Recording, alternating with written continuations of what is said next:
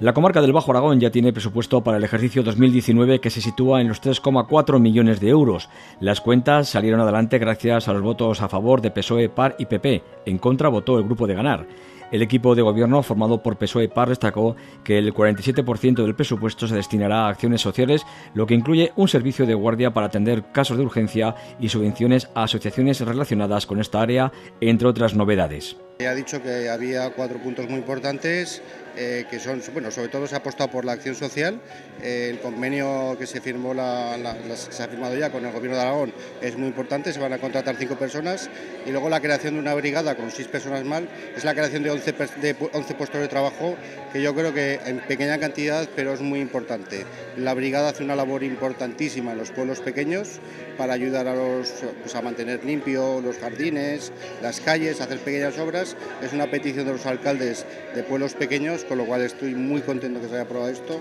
Y luego, pues lo de ayuda a domicilio, se van a contratar, lo que he dicho, cinco personas, dos y media de ayuda a domicilio directamente. Se van a hacer 3.000 euros, 3.000 horas, perdón, para usuarios eh, que son, muy necesarias. Nos gustaría mucho más, pero desgraciadamente la ley de contratación no nos deja contratar más. Por su parte, el portavoz del PAR, Antonio Pérez, señaló que son, que son unas cuentas equilibradas y exponía de esta manera su razonamiento para apoyarlas.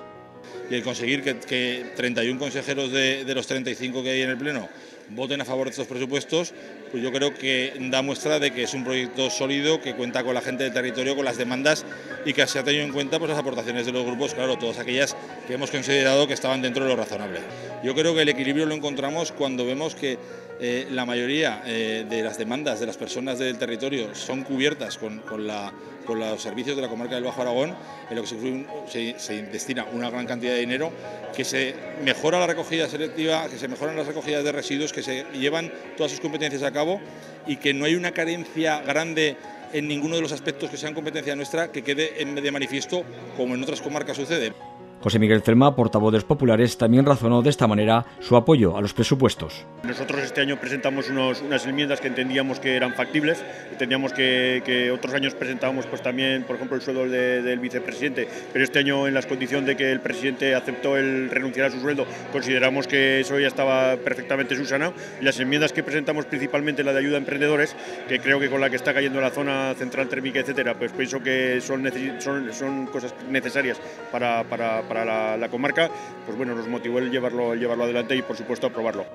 Ganar votó en contra y lo hizo esgrimiendo los siguientes argumentos. Claro, presentamos enmiendas por valor de más de 142.000 euros y se nos han aceptado 2.000, o sea que casi un 99% no han sido aceptadas, por lo que era fácil saber que el sentido de nuestro voto era, iba a ser negativo. Eh, nosotros siempre hemos apostado desde el comienzo de la legislatura por reducir el gasto político, creemos que es desmesurado y preferimos que ese dinero vaya a invertirlo en servicios eh, y en proyectos que afecten directamente a toda la ciudadanía del, del Bajo Aragón. Apostábamos por incrementar el gasto en servicios sociales, por reforzar el personal para disminuir la lista de espera en el servicio de ayuda a domicilio, en atender proyectos relacionados con el medio ambiente, que es un área que está completamente abandonada por el equipo de gobierno, por apostar este año fuerte por la promoción cultural con un servicio de biblioteca itinerante para poder llegar a los pequeños municipios que no tienen esos espacios y bueno, en definitiva, pues eso, 142.000 son enmiendas que no han sido atendidas.